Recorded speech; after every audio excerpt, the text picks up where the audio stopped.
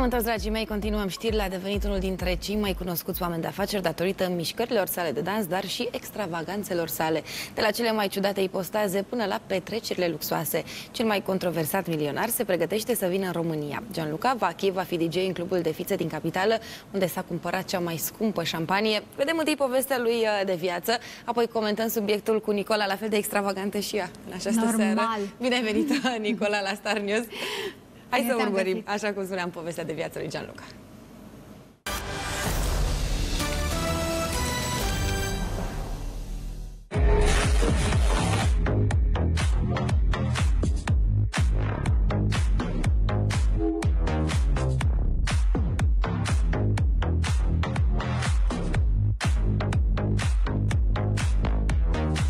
Sunt câteva zile și excentricul milionar italian va pune piciorul pe pământ românesc. Gianluca Vacchi va întreține atmosfera în clubul de fițe din capitală, unde s-a comandat recent cea mai scumpă șampanie din țara noastră.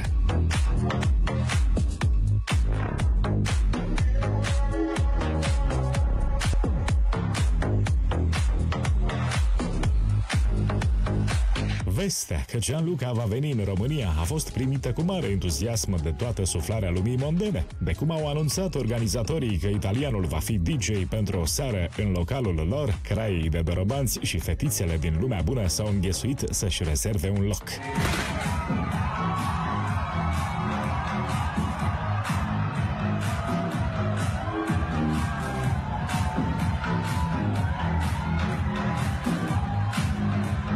Cu siguranță, milionarul va face un show de excepție, așa cum face de obicei, pe unde trece el, distracția atinge cote maxime.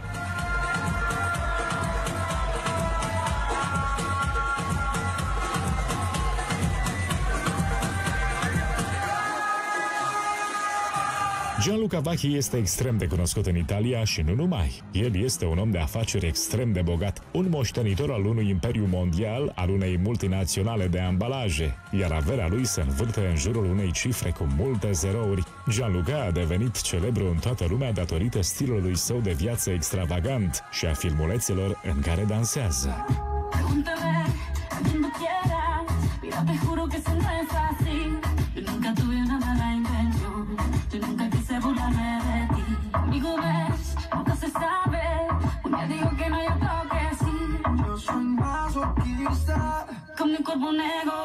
Italianul muncește de la vârsta de 19 ani. A făcut sacrificii mari pentru a manageria cele 12 sectoare diferite ale afacerilor sale, iar astăzi, la cei 50 de ani pe care îi are, fermecătorul milionar face furori printre internauți. Deși încă muncește foarte mult, Gianluca nu ratează nicio ocazie pentru a arăta lumii întregi cum se distrează și ce viață duce.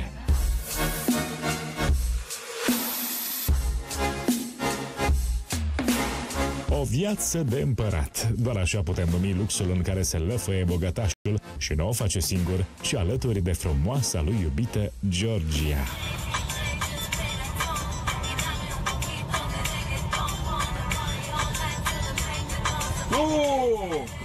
Cei doi formează un cuplu controversat, dar adorat de o mulțime de oameni. Cei doi par să ducă o viață extrem de relaxată, se înțeleg de minune și adoră să călătorească. Ne-am obișnuit deja ca imaginile în care apar cei doi îndrăgostiți să devină virale pe internet.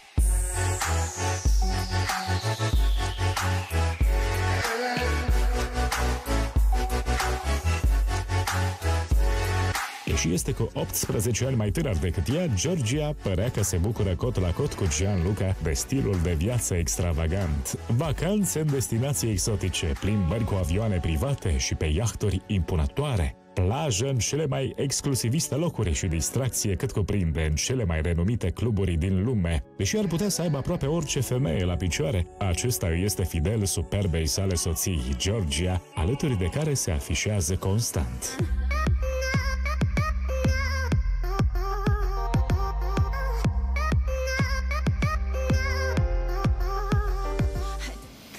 Și a mai urmări aceste imagini încă și încă o dată. Și încă, și încă, și încă o le dată. vedem zilnic cu toții pe uh, contul de Instagram al lui Gianluca. Este foarte activ pe rețelele de socializare, așa a și devenit cunoscută de altfel. Ce spui tu, Nicola, de Uh, Gianluca? never too old to be a DJ. Uh, Și multe am altele. Spus, am spus și eu mai spun o dată, muzica electronică nu are vârstă, așa cum cred unii. Uh, îmi plac oamenii care își trăiesc viața, care știu să trăiască, să se, uh, să și muncească, dar să se, să-și facă și plăcerile. Uh, îmi plac Da, sufletele... pentru cei care nu știu, uh, iartă-mă, Gianluca și muncește, este, așa Păi cum spuneam da. și în material, uh, patronul unei firme prospere, că de, de acolo are toți banii pentru a face toate aceste extravaganțe. Și uite că și îmi plac sufletele tinere, știi? Adică, eu nu știu câți ani are omul ăsta, nu că i-aș da Are, vârsta, are, dar nu contează. are, are. Peste 50. Dar sufletul ei, lui este foarte tânăr și uh, nu știu dacă îl ajută uh, și iubita lui, dar uh, eu cred că asta vine din interior până la urmă, știi? Um, îmi place, îmi, mă uitam la, im- la um, video-ul acesta unde el pleiază și uh, de obicei știi că DJ se urcă pe pupitru Tu ăla fiind și artist, fac... Uh, uh, fiind uh, cântăreața, asta te atrage cel mai mult uh, la viața lui Gianluca? Cum mixează el, că face și muzică? Păi, îmi place Mie că îmi trec face așa ceea prin cap ce-ți pl- ce-i place lui. toate aspectele vieții lui și nu Stai pot, să, puțin, stai să- nu pot să uit acel filmuleț în care el dansează pe marginea unei piscine, urcă pe o bicicletă și intră în piscină cu bicicleta. Foarte tare. Dar spuneam că, uite, uite, mai ales aici, el s-a dus uh, pe scenă, deci cred că a sărit peste pupitrul ăla și s-a dus pe scenă și face și mare show acolo, adică nu doar stă la uh, platane și uh, face pe DJ-ul, știi? Uh, lui place să... Se dedică el trup și simte suflet. viața, mă, el face ce îi place, se vede pe el. Uh, și uh, în, în tot ceea ce face are o bucurie uriașă. Crezi că asta îi atrage pe oameni? Crezi că așa a devenit atât de cunoscut bucuria pe care, Pe o, care o el o emană emană, el, da. fie că e vorba Tu de știi momentele că- în care mixează, de momentele în care Da. face și sport, că se vede și pe trupul lui, că lucrează din greu uh, la sală, că dansează.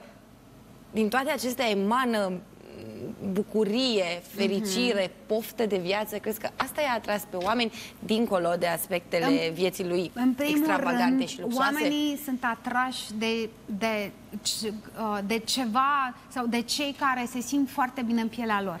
Iar el este unul dintre aceste exemple. El se vede clar că se simte foarte bine în pielea lui și nu o face așa, nu e fake, știi? Nu o face doar așa de ochii lumii.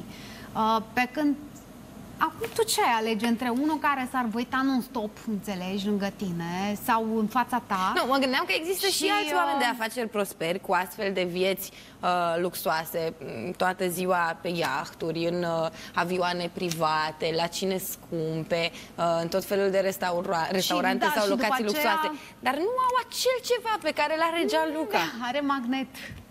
A, Dar știi de ce are? Magnetism. Dar știi de ce are? Pentru că se simte foarte bine uh, în- în pielea lui și de ce? Pentru că face ce îi place, pentru că are lângă el uh, pe aleasa lui și, uh, cum să spun, este cu cineva mm, pe, și-a dorit-o foarte și mult. care se cred că vede este exact clar. ca el, pentru că vezi, în uh, toate postările lui uh, de pe Exact. Instagram îl Și ei însoțește. se completează Dansează foarte împreună bine la unul fel pe de bine celălalt. Mhm. amândoi. Uh, îl însoțește în momentele în care face sport și ea are un trup la fel de fit, la fel de bine lucrat la sală uh, ca al lui. Se completează reciproc perfect. Și să știi că asta e de genul de, de cuplu care rezistă foarte mult, pentru că... În ciuda diferenței.